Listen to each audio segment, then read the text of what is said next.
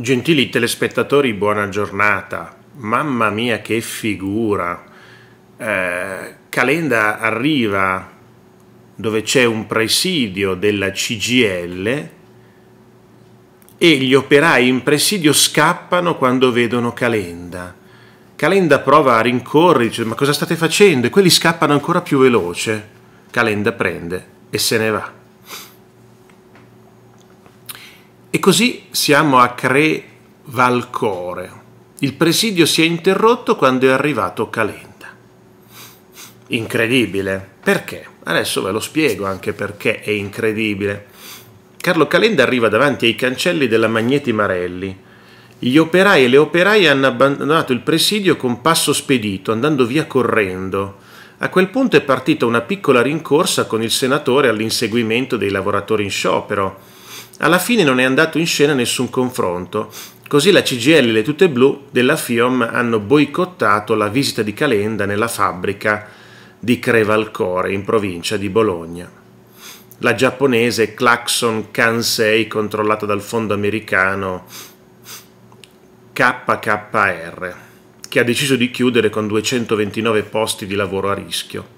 Il fondo americano peraltro insieme a al MEF sta predisponendo in questi giorni l'offerta per rilevare la rete TIM. La polemica tra il leader di azione e il sindacato era nata sui social nei giorni scorsi quando Calenda aveva attaccato il segretario della CGL ed ex numero uno delle tute blu della FIOM, Maurizio Landini. Secondo Calenda il sindacato non avrebbe preso posizione a suo tempo sulla cessione di Magneti Marelli da parte della Fiat. La Fiat sta vendendo tutte le attività italiane nell'indifferenza generale, dice Calenda. La sinistra e la CGL, da quando la Repubblica è stata comprata da El Khan, hanno smesso di fare battaglia e nessuno dice più nulla. E questo è ingiusto e immorale.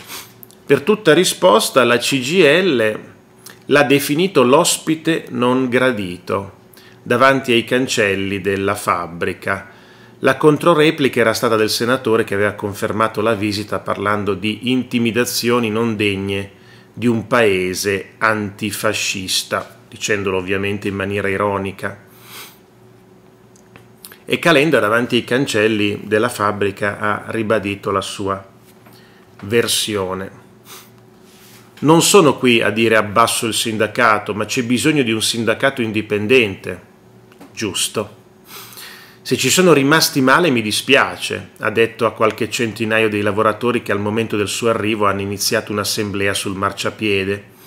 Il dibattito duello sulla vertenza Magneti Marelli e sulla crisi dell'automotive non è andato in scena, tra i contendenti schierati diversi uomini della Digos ad osservare la scena. Poche battute, poi Calenda, accompagnato dal senatore Marco Lombardo, è risalito in macchina. Allora, ehm, il sindacato politicizzato è ridicolo. Ridicolo perché vogliono far politica e non fanno il sindacato. Perché? Il sindacato dovrebbe occuparsi di vertenze sindacali, di rinnovi contrattuali. Questo è il core business del sindacato. Se il sindacato solo vuole essere invitato a Palazzo Chigi e Draghi non ci invita, la Meloni non ci invita perché vogliono sentirsi importanti, vogliono sentirsi al centro dell'attenzione, ma prima di tutto un leader sindacale come Landini, che ti organizza uno sciopero generale per ottobre, organizzato a giugno, su una finanziaria che non era stata neanche pensata e scritta, è oltre il ridicolo. Non era mai successo al mondo che un sindacato nazionale organizzasse uno sciopero quattro mesi prima di una legge. È una roba assurda, come può essere preso in considerazione un personaggio del genere? Quando lo vedi ridi, non è che puoi, non è che puoi prenderlo in considerazione come un interlocutore, ma neanche per decidere dove andare a mangiare la pizza. Uno che si inventa gli scioperi senza motivo eh, non può essere preso in considerazione.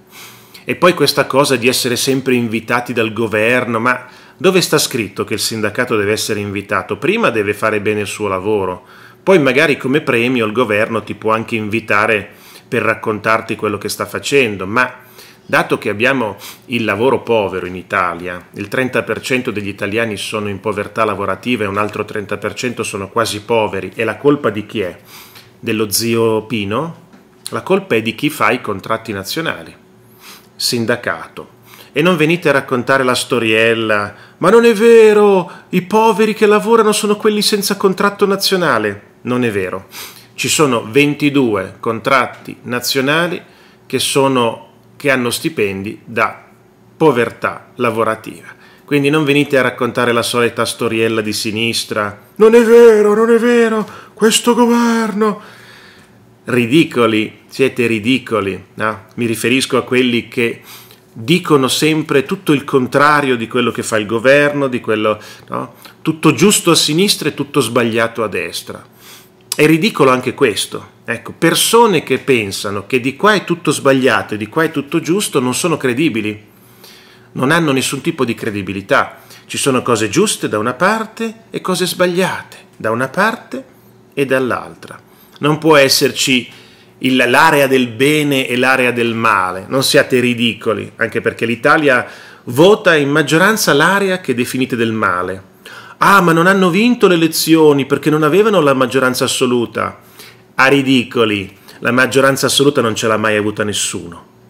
Nessuno in Italia ha governato con oltre il 50%, nessun partito, nessuno, neanche la potente democrazia cristiana. Quindi, prima di rendervi ridicoli a dire delle sciocchezze, accendetevi, accendete il cervello e vedete che dite un sacco di bugie.